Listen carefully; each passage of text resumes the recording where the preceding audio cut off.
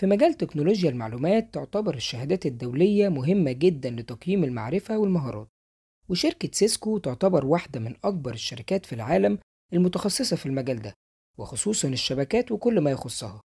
وعندهم كورسات وشهادات دولية معتمدة تعتبر الأهم والأكثر انتشارا في مجال ال IT. في الفيديو ده هنتكلم بشكل عام على شهادات سيسكو وبشكل خاص على CCNA ومحتويات الكورس اللي هينزل على القناة.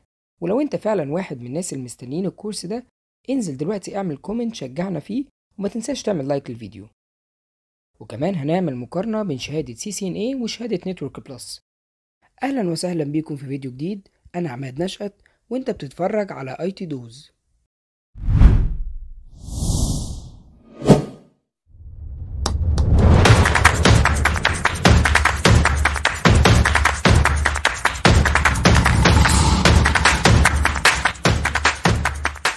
طبعا كل الشركات بتحتاج IT team أو على الأقل لو شركة صغيرة أو مكتب صغير فهتحتاج شخص واحد لل IT. بس برضه مهما كان حجم الشركة فهي دايما هتحتاج شخص مسؤول عن ال IT. وده اللي مخلي المجال دايما متجدد ومطلوب. وعشان تبدأ في المجال ده لازم تكون فاهم كويس جدا محتويات كورس ال CCNA عشان كده عملنا لكم سلسلة ال CCNA ببساطة. السلسلة دي هتكون مكونة من مجموعة من الفيديوهات الخاصة بشرح CCNA وهنقدر نغطي كل المواضيع الموجودة في امتحان CCNA 200 من سيسكو.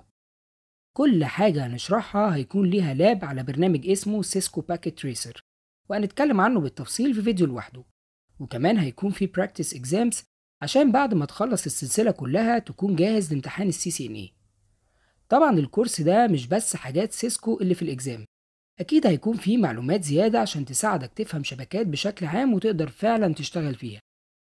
طب يا ترى الكورس ده موجه لمين؟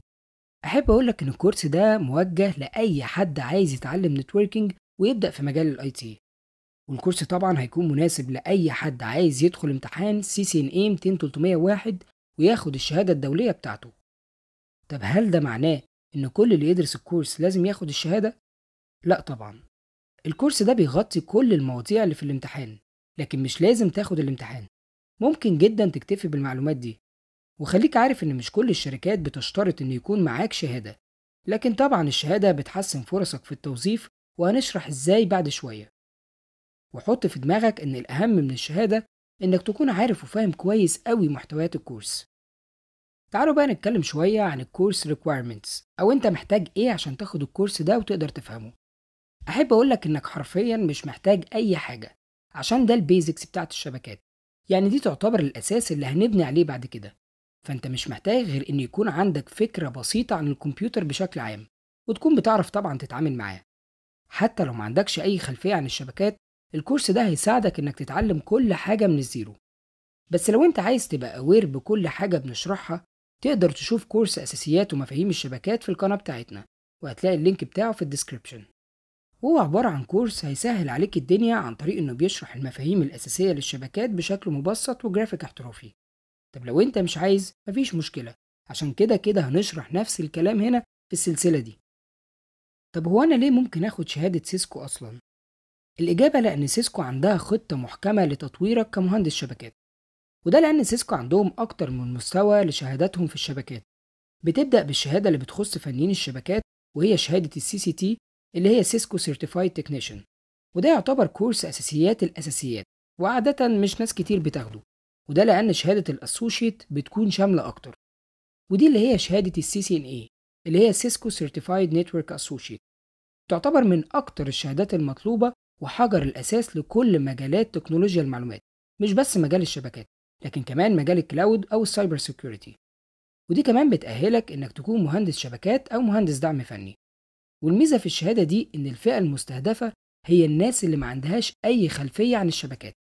عشان كده هتلاقي أكتر ناس بتاخدها هم الطلبة أو الناس اللي عايزة تعمل career shift وتبدأ في career ال IT ومحتوى الشهادة دي قوي جدا وفعلا بيأهلك إنك تشتغل بيها.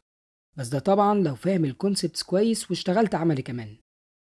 المستوى اللي بعد كده هو ال CCNP اللي هو Cisco Certified Network Professional وده مستوى احترافي وعميق في الشبكات. وعشان كده هي مش شهادة عامة زي CCNA لكن هنا انت بتختار تخصص معين زي CCNP Enterprise أو CCNP Data Center أو Security أو Service Provider وغيرهم. شركة سيسكو ما وقفتش لحد هنا لكن عملت شهادة لخبراء الشبكات واللي هي ال CCIE اللي هي Cisco Certified Internetwork Expert ودي تعتبر من أقوى الشهادات في مجال الشبكات وال IT. وبرضه طبعا فيها تخصصات مختلفة وتعتبر ال CCIE زي ماجستير في المجال. عشان كده دايما اللي بياخدوها هم ال consultants أو ال architects في شركات كبيرة. وآخر مستوى هو ال CCAr وهي شهادة ال architect فخليني أقول لك لو أنت ناوي تتخصص شبكات ويكون ده فعلا كاريرك فأنت عندك خطة واضحة جدا من سيسكو وعندك فرصة لتطوير نفسك بشكل مدروس من شركة كبيرة زي سيسكو.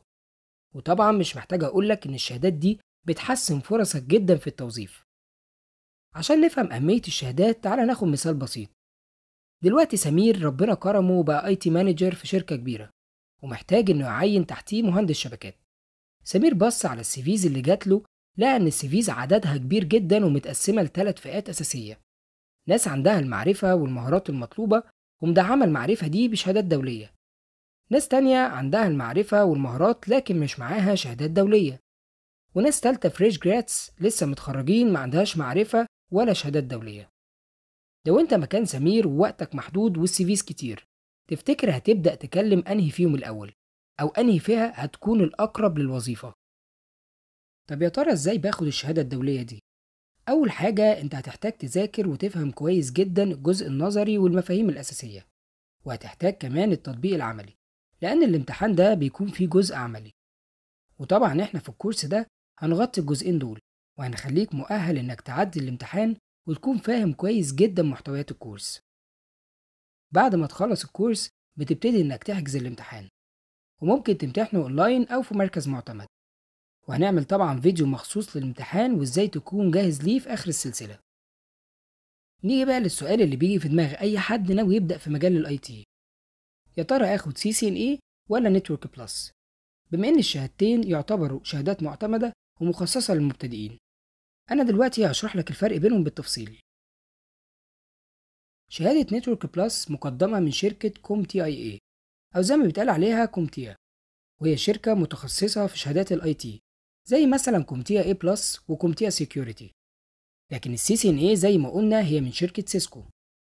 أول فرق واضح جدا هو إن شهادة Network Plus بيتقال عليها vendor neutral أو vendor free وده لأنها تعتبر شهادة عامة فيها مفاهيم وأساسيات الشبكات من غير ما يتكلم عن الأجهزة أو البروتوكولات الخاصة بشركة معينة. يعني هنا بتركز على ال standard knowledge لأساسيات الشبكات. وطبعا CCNA بتديك برضو أساسيات ومفاهيم الشبكات لكن من وجهة نظر شركة Cisco. يعني بتديك ال standard برضو لكن كمان بتديك البروتوكولات المطورة من شركة Cisco نفسها بما إن هي اللي عاملة الشهادة.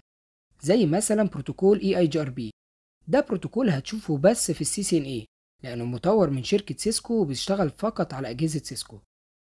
ال CCNA بيشمل جزء عملي على برنامج Cisco Packet Tracer وهو يعتبر أداة محاكاة للمبتدئين. بيخليك تقدر تعمل محاكاة أو simulation لشبكة حقيقية بالأجهزة والتوصيلات بتاعتها وكمان تطبق بروتوكولات معينة وتشوف حركة ال packets. يعني نقدر نقول إن الاتنين كويسين جدا كبداية. لكن تعال نبص برضو على نقطة مهمة جدا وهي تكلفة كل امتحان فيهم. في الوقت اللي بعمل فيه الفيديو ده تكلفة ال CCNA حوالي 300 دولار لكن ال Network Plus تكلفتها بتكون 369 دولار. طبعا أنت دلوقتي مستنيني أقول لك أنهي شهادة فيهم الأفضل. مفيش إجابة صح أو غلط للسؤال ده.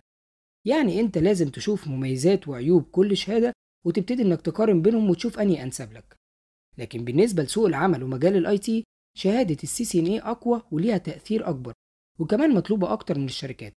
وده لأن زي ما شرحت في أول الفيديو إن Cisco عندها عدد كبير قوي من الشهادات الخاصة بالشبكات. ده غير طبعا إن تكلفتها أقل. عشان كده أنا دايما بنصح إنك لو بتختار تاخد أنهي شهادة فيهم إنك تبدأ بال CCNA لو عايز تقدر تلم كل حاجة. وبكده نكون وصلنا لنهاية الفيديو بتاعنا النهاردة. وبما إنه أول فيديو في سلسلة ال CCNA أتمنى إنكم تتوصوا باللايكات وال share للفيديو ده عشان عايزين السلسلة دي توصل للناس كلها في مصر والوطن العربي كله عشان كله فعلا يقدر يستفيد من السلسلة دي.